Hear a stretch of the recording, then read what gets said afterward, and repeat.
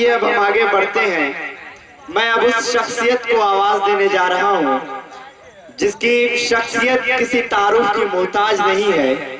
मैं उनके बारे में सिर्फ़ इतना कहूँगा कि जब से उन्होंने होश संभाला और आज तक उन्होंने इस गाँव को संवारने की बहुत कोशिश की है। यूँ समझ लो कि ये गाँव एक पत्थर था और उन्होंने इसे तराश कर खूबसूरत मूर्ति की शक्ल दी। मैं, मेरी मुराद, आप सभी जानते हैं मेरे वालिद मोहतरम, जो इस मुशारे के सदर भी हैं। मैं उनके बारे में ये कहना चाहूँगा कि अब्र बरसा करे बरसात नहीं होती है। दिल न चाहे तो कोई बात नहीं होती है। अब्र बरसा करे बरसात नहीं होती है। दिल न चाहे तो कोई बात नहीं होती है। और जिसने आदाब मुलाकात सिखाए थे हमें, जिसने आदाब मुलाकात सिखाए थे हमें, अब तो उससे भी मुलाकात नहीं होती है। और दोस्तों, उन्हीं का, उन्हीं के कुछ और अशार कि चमन के खार को वो फूल लिखने वाला था। आप बस उनकी सोच देखिए कि क्या है, कि चमन के खार को वो फूल लिखने वाला था, तुम्हारे गाँव को स्कूल लिखने वाला था। इससे पहले कि कोई कुफ्र का फतवा देता, मैं उसे राम का त्रिशूल लिखने वाला था। और छीन कर वक्त भी मासूम के हाथों से कलम। छीन कर वक्त भी मासूम के हाथों से कलम। ज़िंदगी उड़ती हुई धूल लिखने वाला था। सदर मुशायरा माइक पर। अस्सलाम वालेकुम वालेकुम अस्सलाम। मेरे खड़े होने से पहले एक जनाब ने कहा कि आप इख्तिसार से काम लीजिएगा क्योंकि पब्लिक आपको हुडिंग करके भगा सकती है। लेकिन सबसे पहले मैं आपसे आपसे इजाज़त ले लूँ। तरन्नुम का शायर नहीं हूँ। तहत्तर लफ्ज में सुनाऊँगा। पहले मैं उनको ये बता दूँ कि आप मऊ की सरजमीन से ताल्लुक रखते हैं। मैं उसके पैरों की धूल चाट कर शायरी लिखा हूँ जिसको बहुत वाह वाह वाह वाह। वाह वाह फिदा फैजी। फिदा इब्न फैजी जैसी शख्सियत के पैर की धूल चाट कर मैंने एक नाले गुल की किताब लिखा। भाई वाह एक जोरदार तालियों से भाई इस किताब के लिए इस, इस किताब का इस्तेमाल करें। मैं एक शेर आपके एक नज्म सबसे पहले पेश कर दूँ। बिला तमहीद अता हो। कि राम रहीम आ गए। वाह। राम रहीम आ गए गोकुला के कन्हैया बनके वाह वाह वाह। आशा राम आ गए गोकुला के कन्हैया बनके वाह। बिंदरा बन में वो छाए हैं बदरिया बनके वाह वाह वाह। बहुत खूब आशा जिंदाबाद राम आ गए राम रहीम आ गए अच्छा। गोकुला के कन्हैया बनके बिंदरा बन में वो छाए हैं बदरिया बनके आप तो पूजने जाते थे कंवरिया बनके वाह वाह। आप तो पूजने जाते थे कंवरिया बनके आज क्यों टूट पड़े आग का दरिया बनके जिंदाबाद जिंदाबाद। वाह तो वाह वाह पूजने जाते थे कंवरिया बनके जिंदाबाद आज क्यों टूट पड़े आग का दरिया बनके और गोपियाँ रास रसाती हैं कन्हैया जी को। वाह। गोपियाँ रास रसाती हैं कन्हैया जी को। रूप से अपने लुभाती हैं कन्हैया जी को। वाह। राम के देश में रावण का चलन है कि नहीं? वाह राम के देश में राम का। देश में रावण का चलन है कि नहीं? आज उजड़ा हुआ सीता का चमन है कि नहीं? वाह वाह। आज उजड़ा हुआ सीता का चमन है कि नहीं? तुम तो रावण दहन हर साल किया करते हो।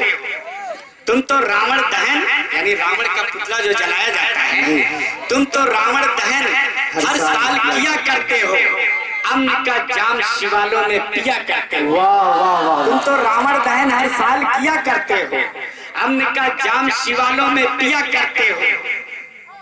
कोई रावण की तरह बन के दरिंदा क्यों है? वाह वाह वाह कोई रावण की तरह बन के दरिंदा क्यों है? अपने आँगन में कोई बेटी शर्मिंदा क्यों है? वाह वाह जिंदाबाद। एक जोरदार ताली से शेर का इस्तेमाल। अपने आँगन में कोई बेटी शर्मिंदा क्यों है? कितने बेवाओं को रोने की सजा पाओगे? वाह। कितने बेवाओं को रोने की सजा पाओगे? उन यतीमों को बिलकने की सजा पाओगे? वाह वाह। आग नफरत की लगाने की सजा पाओगे? तुम चरागों को बुझाने की सजा पाओगे। वाह वाह आग नफरत की आग नफरत की लगाने की सजा पाओगे। तुम चरागों को बुझाने की सजा पाओगे। वाह वाह। जिंदाबाद जिंदाबाद। और शेर है कि तुमको समझाया था इंसानियत की कब्रों ने। वाह। तुमको समझाया था इंसानियत की कब्रों ने। गुनगुनाते हुए बागात के इन फौरों ने। गुनगुनाते हुए बागात के इन फौरों ने कि नेक हो जाओ तो ये हिंद समर जाएगा। नेक हो जाओ तो ये हिंद समर जाएगा। दिल में उनसुर हो तासुब का तो मर जाएगा। जिंदाबाद जिंदाबाद। वाह वाह वाह। तासुब का तो मर जाएगा। और उस अमन का दीप ये मासूम जलाता क्यों है? मकता है? कि अमन का दीप ये मासूम जलाता क्यों है? आईना आईने वालों को दिखाता क्यों वाह वाह जिंदाबाद जिंदाबाद। एक हालात हाजरा पे गज़ल है अगर इजाज़त हो स्टेज नहीं इजाज़त है इजाज़त है। मैं सुनना चाहता हूँ कि जाओ जाओ जाओ। थोड़ा सा हजम कर लीजिए मुझे। तहता लफ्ज का शायर हूँ। सुना दूँ कि आपके प्यार की सौगात से डर लगता है। वाह आपके प्यार की सौगात से आपके प्यार की सौगात से डर लगता है। वाह वाह जिंदाबाद जिंदाबाद। इस डराने की शुरुआत से डर लगता है। जिंदाबाद। इस डराने की शुरुआत से डर लगता है। तुमको जाकिर के बयानात से डर लगता है। वाह। तुमको जाकिर के बयानात से डर लगता है। तुमको फूलों भरे बागात से डर लगता है। वाह वाह तुमको फूलों भरे बागात से डर लगता है। अब तेरी आँख में चुभते हैं ये कांटों की तरह। वाह। अब तेरी आँख में चुभते हैं ये कांटों की तरह। तुमको मिसवाक के आलात से डर लगता है। वाह वाह वाह वाह। अब तेरी आँख में चुभते हैं ये कांटों की तरह। तुमको मिसवाक के आलात से डर लगता है। और बीज नफरत का यहाँ बोए संत साधु ने। जिंदाबाद। बीज नफरत का यहाँ बोए संत साधु ने। और कुरान के आयात से डर लगता है। और कुरान के आयात से डर लगता है। भाईचारे की मोहब्बत की कोई बात करे। शेर सुनिएगा। भाईचारे की मोहब्बत की कोई बात करे। क्यों मुसलमान के हालात से डर लगता है? क्यों मुसलमान के हालात से डर लगता है? जिसके किरदार में पोशीदा है नफरत का चलन। जिसके किरदार में पोशीदा है नफरत का चलन। ऐसे इंसान के जज्बात से डर लगता है। ऐसे इंसान के जज्बात से डर लगता है। और आग नफरत की जलाते हो हवन करते हो। वाह वाह। शेर सुनिएगा आग नफरत की जलाते हो हवन करते हो। प्यार और उल्फत भरी बरसात से डर लगता है। प्यार और उल्फत भरी बरसात से डर लगता है। और खाए लाहौर की दावत में वो बिरयानी पुलाव। खाए लाहौर की दावत में वो बिरयानी पुलाव। और कश्मीर के सम्राट से डर लगता है। वाह। जिंदाबाद जिंदाबाद। खाए लाहौर की दावत में वो बिरयानी पुलाव। और कश्मीर के सम्राट से डर लगता है। और चीखती आँखों ने जलते हुए देखे हैं शहर। वाह वाह। शेर सुनिएगा। चीखती आँखों ने चीखती आँखों ने जलते हुए देखे हैं शहर। टीवी चैनल वो फसादात से डर लगता है। वाह वाह वाह टीवी चैनल जिंदाबाद। फसादात से डर लगता है। जो दिया तूने अलम उसको तो झेले हंसकर। अब तेरी जात तेरी बात से डर लगता है। जिंदाबाद तेरी जात तेरी बात से डर तेरी लगता है। बात से डर लगता है। और अपनी मर्ज़ी से जो प्रवास किया करते थे। अपनी मर्ज़ी से अपनी मर्ज़ी से जो प्रवास किया करते थे। उन परिंदों को भी गुजरात से डर लगता है। बहुत अच्छे जिंदाबाद। अपनी मर्ज़ी शेर को दोबारा पढ़ दीजिए। अपनी मर्ज़ी से जो प्रवास किया करते थे उन परिंदों को भी गुजरात से डर जिंदाबाद जिंदाबाद। उन परिंदों को भी गुजरात से डर लगता है और दीने इस्लाम का कानून बदलने वाले। दीने इस्लाम का कानून बदलने वाले। तुमको आईने मसावाद से डर लगता है। तुमको आईने मसावाद से डर लगता है। नोटबंदी का डरामा भी तेरा खूब रहा। नोटबंदी का डरामा भी तेरा खूब रहा। काला धन काली उसी रात से डर लगता है। वाह वाह वाह। काला धन काली उसी रात से डर लगता है। नोटबंदी का डरामा भी तेरा खूब रहा। काला धन काली उसी रात से डर लगता है। वाह। और छीन ली दादरी के मुँह से निवाला तूने। वाह वाह छीन ली दादरी के मुँह से निवाला तूने। तुमको बरसों भरी रेवा तुमको बरसों की रिवायात से डर लगता है। जिंदाबाद तुमको बरसों की रिवायात से डर लगता है लगता है कि अब तो मलियाना के हालात में लिखो मासूम। अब तो मलियाना के हालात में लिखो मासूम। उनको शायर के ख्याल से डर लगता है। जिंदाबाद जिंदाबाद। भाई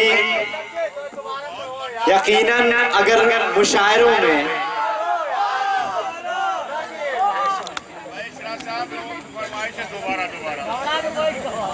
दरअसल मैं हार्ट पेशेंट हूँ, मेरा ऑपरेशन हुआ बहुत सुना दिया इसीलिए सदर सबसे लास्ट में जो सदर मुशायरा होता है, उसको लास्ट में वक्त दिया जाता है आखिर में। लेकिन मैंने गुजारिश की थी और बीच में पढ़ लिया कि मैं अपने फ़र्ज़ से अदा हो जाऊँ। बस अब हमारे पास तरन्नुम के शोरा हैं। थोड़ी सी लोगों की कमी रही है कि एक तरतीब देते, कोई मदाहिया का शायर भी लेके आते और कोई हजल का शायर, गज़ल का शायर। इसी तरह से लोगों के रुझानात थोड़ा सा चेंज होते रहते लेकिन मैं देख रहा हूँ कि सिर्फ़ तरन्नुम और तहतल लफ्ज में मैं शहाब नुमानी ने सुनाया, बहुत अच्छी चीज़ उसने सुनाया, बड़े अच्छे अंदाज और लबो लहजा में आप लोगों को सुनाए वो। और मैं सदारती खुतबा तो नहीं दे पाऊँगा हो सकता है मैं घर भी चला जाऊँ। बस मैंने सुना दिया अपनी जिद से। भाई साहब ने मुझसे कहा था कि पब्लिक को हटाने से पहले हट जाइएगा। हाँ, लेकिन ऐसा जोरदार पहले बता दिया कि मैं आपकी सरजमीन के एक ऐसे शायर का शागिर्द हूँ। जिसका नाम आप सुनने के बाद शायद मुझे कहेंगे रात भर सुनाई। मैं फैजा इब्ने फैजी के पैर की धूल चाट कर शायर एक जोरदार तालियों से इस्तकबाल फरमाएँ। दोस्तों यकीनन अगर आज के मुशायरे में शायरी हुई है। तो अभी जो मेरे वालिद मोहतरम ने की है, असल शायरी अगर किसी कही जाए तो वही शायरी है। दोस्तों, मैं यूँ कहना चाहूँगा कि एक हंगामा गैरत के सबब आया है। अमन का दौर बगावत के सबब आया है, और दुश्मनी तुझसे कमा की तो नहीं थी हरगिज। दुश्मनी तुझसे कमा की तो नहीं थी हरगिज। तीर तुझ तक तेरी शोहरत के सबब आया है। तीर तुझ तक तेरी शोहरत के सबब आया है।